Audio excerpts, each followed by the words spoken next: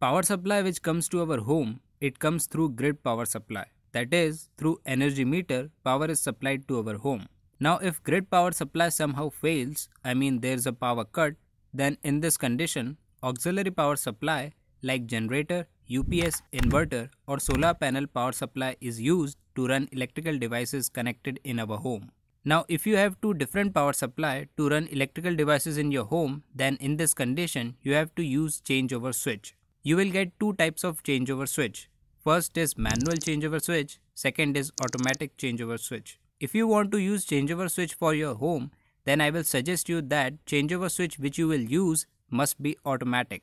Now we have to do connection of this changeover switch with energy meter and generator. How to do connection? Let's understand this.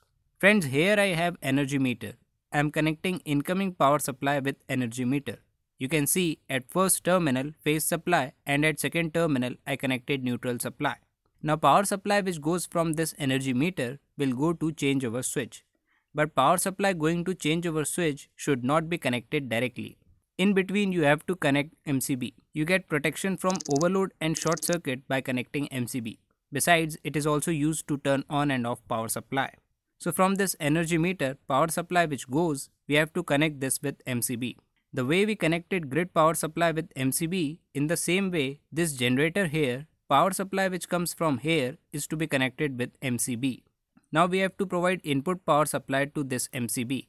What we will do, bring power supply of generator and connect with these two terminals directly. You can see here phase supply and here neutral supply is connected. Now after this connection which we will do, you must see the connections carefully to understand. What you have to do is in this changeover switch, if you look here, here main is written.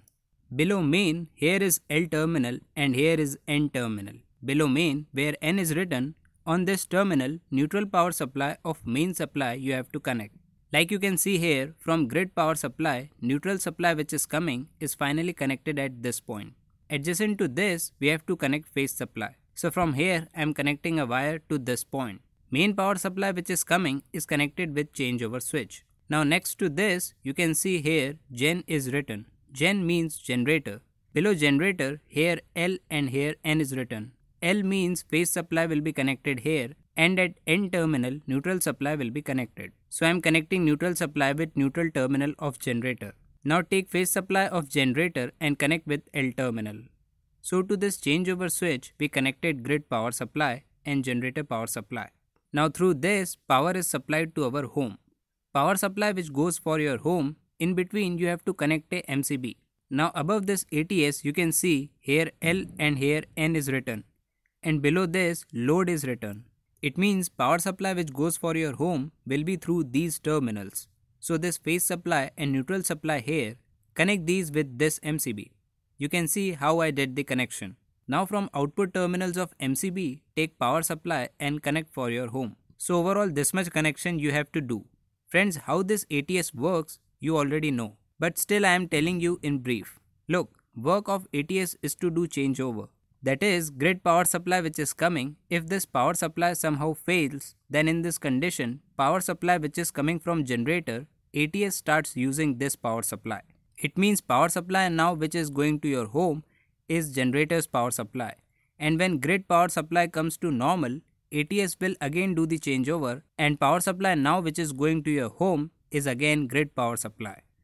Friends, if you want to see how practically ATS works, then click on the right hand side video to watch.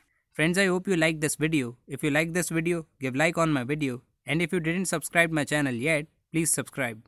Thanks for watching this video.